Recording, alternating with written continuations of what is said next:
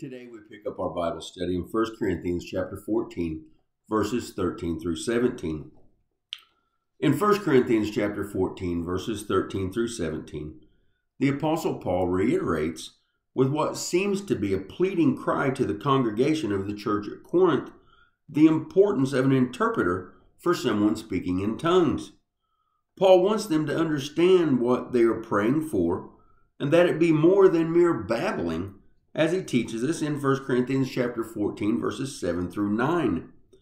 He declares in 1 Corinthians chapter 14 verses 13 through 17, as I quote from the New King James Version, Therefore let him who speaks in a tongue pray that he may interpret. For if I pray in a tongue, my spirit prays, but my understanding is unfruitful. What is the conclusion then?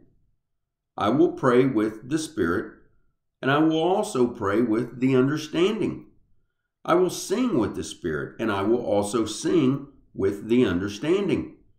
Otherwise, if you bless with the Spirit, how will he who occupies the place of the uninformed say, Amen, at your giving of thanks, since he does not understand what you say?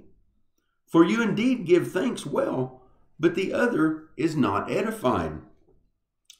This is a command to pursue understanding in the gift that God has given you, that others may be edified through God working in your life. I believe the best example for this situation would be if we were all in church expecting to hear a good sermon, but the sermon was preached in a foreign language to all of us. No one would understand anything nor gain any wisdom or knowledge from it, unless there was an interpreter there to explain what was being said. Then we would all gain understanding, wisdom, and knowledge to grow in our relationships with God as Christians.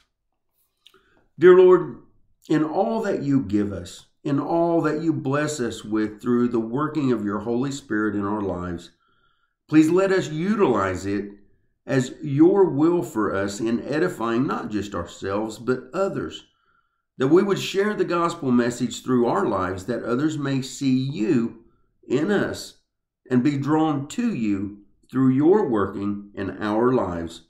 In Jesus' name I pray. Amen. If you'd like to learn more about the Bible and how you can apply its lessons in your life, join us each day as we reach out to share Jesus with the world and help us all find purpose in life.